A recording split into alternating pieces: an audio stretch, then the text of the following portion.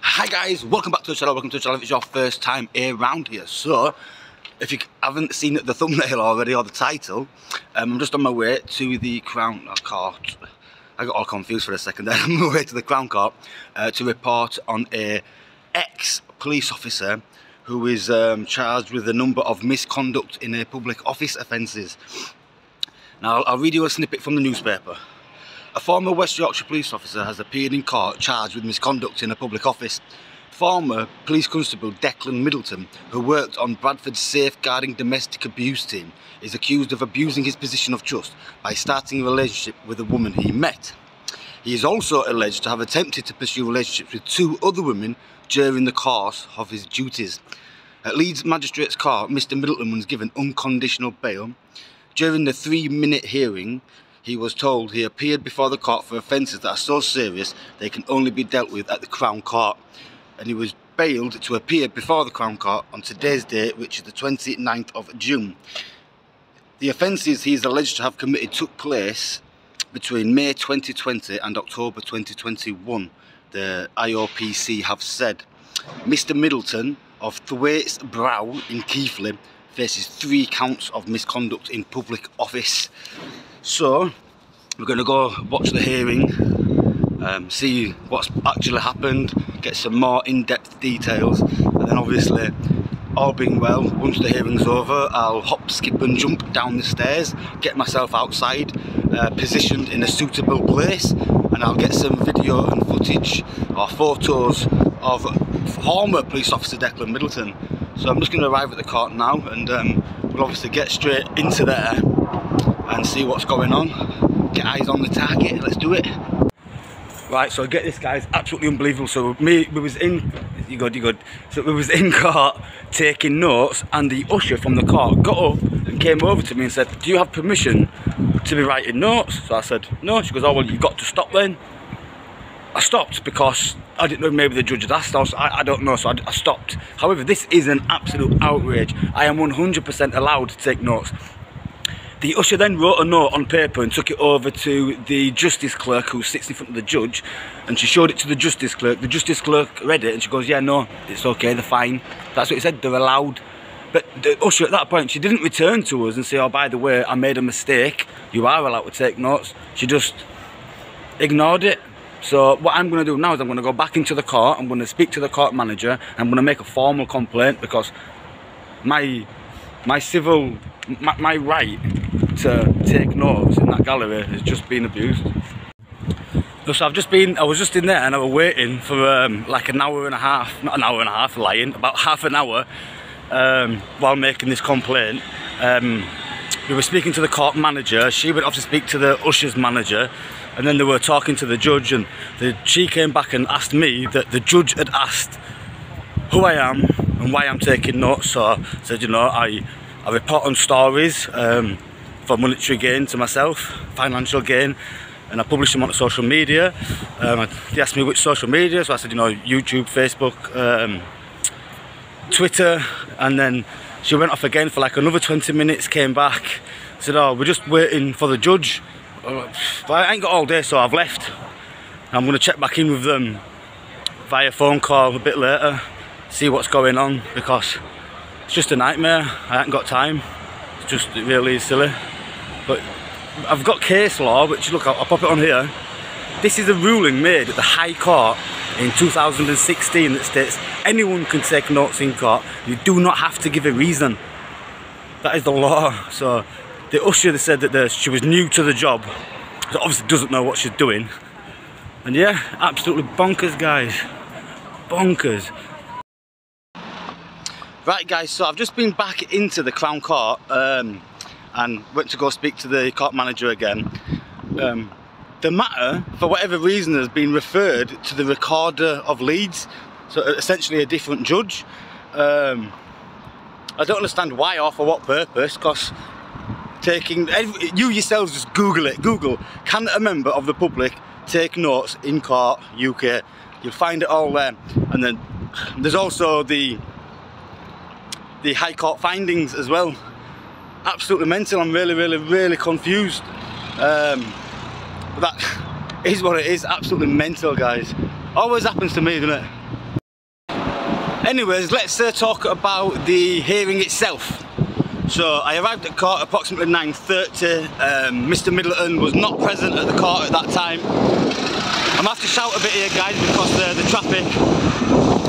Um, it was also made evident that a special prosecutor had been brought in to prosecute the case and not the CPS. For what reason? Have no idea. Don't know. Work it out for yourself. Anywho, I went into the courtroom and sat in the public gallery and waited. Uh, Mr Middleton then arrived with his father and legal team at approximately 10.40 or there thereabouts. Uh, Mr Middleton's dad was sat directly in front of me.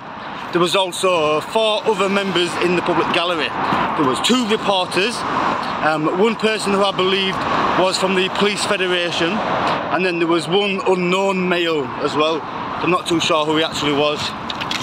Let's flip my notes. Uh, so the case, uh, the hearing commenced at 10.45 as listed. Uh, Mr Middleton spoke only to confirm his name, his date of birth and he entered a not guilty plea uh, to all three charges. So he is charged obviously with misconduct in a public office and they amount to making relationships, entering into relationships or inciting a vulnerable person into a relationship. There's also allegations of inappropriate touching without what, what I can only assume was consent. I'm not too sure on that. Um, and they all are denied. Um, former, former PC Middleton has actually expressed that one of the victims is just out and out lying. Another one of the victims um, were they were coming onto him in fact and not the other way around. And the third victim is similar to the second. Uh, trial has been set for the one moment sorry. Ah, all my notes trial has been set for the 7th of October 2024 um, it's going to be a listed trial which means it's fixed in place and it can't be moved. Um, there is also some CCTV footage which the Crown will not be using um, as evidence as they say it's um, irrelevant. Um, there is also some cell site information that would put P former PC Middleton in the vicinity of one of the victim's properties. However, he denies that he was at the property, just in the area.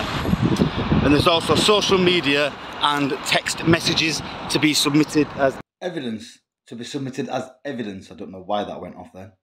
So here he is, Declan Donnelly Middleton in the grey suit, leaving court with his father. He obviously needed his dad to come to court with him because he is little bitch, and he needed his daddy to hold his hand whilst he, um, well, prepares to probably go to prison for being what I can only call is what would you call it? Pervert preying on vulnerable women. Yeah, I think per pervert sounds um, pretty um, politically correct, wouldn't you say, guys? But yeah, he didn't have much to say. He didn't say nothing, obviously. He just kept on walking um, like the little loser that he is. And here we have leaving court is the police liaison slash police federation member. Um, I thought he was going to come back me at this moment, but he didn't.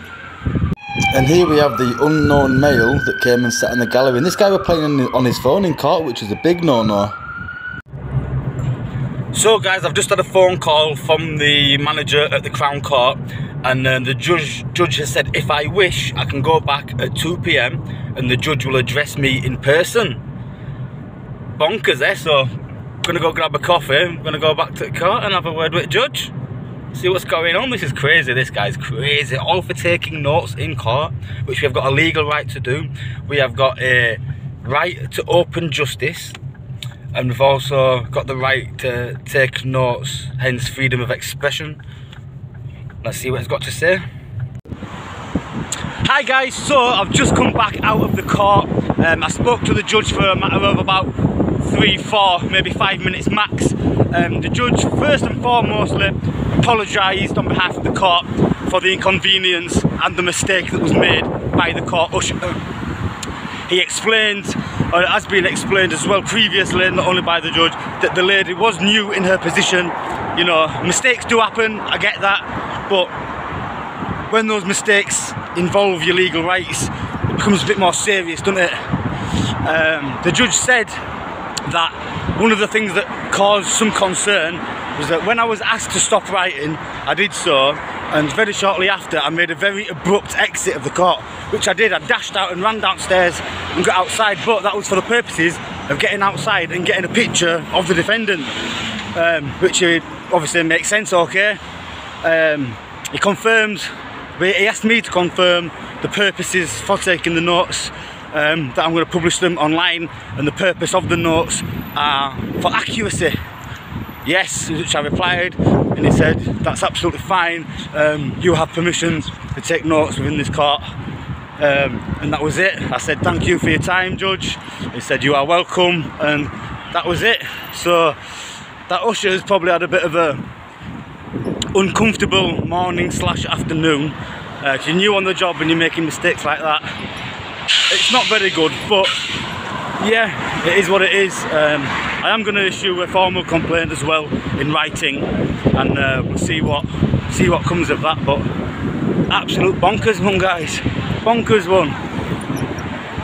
Well, what can I say? I think I've been promoted now. I'm getting addressed by judges, and I'm not even the one in court. guys, wicked. What a result! Until the next one, as always, stay safe, peace, and respect.